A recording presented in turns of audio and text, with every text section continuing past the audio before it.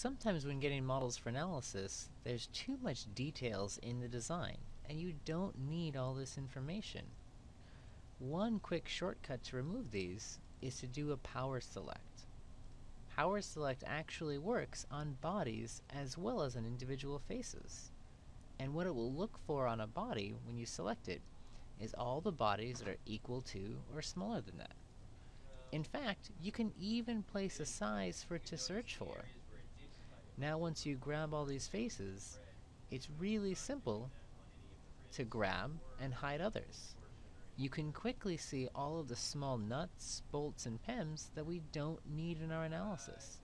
These would drastically increase the mesh size and cause meshing to take longer. Now I have the option to either delete them or organize my assembly. By putting these on a new layer of small things and calling it whatever I like, I can then hide those and not have them in my assembly. Now when I go back and show everything, I've removed all of those small parts. Almost 500 small parts removed in the blink of an eye.